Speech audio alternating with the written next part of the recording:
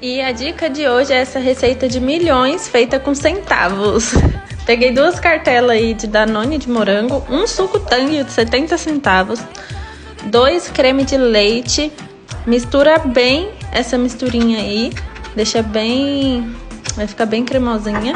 Pega uma travessa pequena, coloca um pouco de chocolate dentro e coloca para derreter no micro-ondas. Bem simples e vai ficar assim, ó, desse jeito.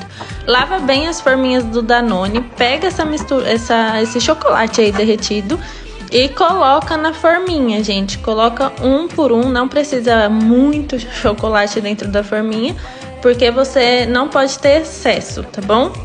Você vai pegar essas bandejinhas e vai girando elas assim para poder ficar o chocolate todo em volta dela.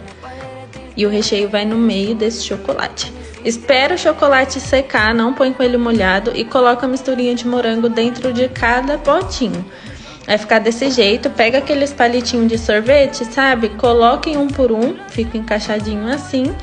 E pronto, coloca no freezer por duas horas no mínimo e tá pronto o sorvetinho, gente. Olha que delícia! Mmm.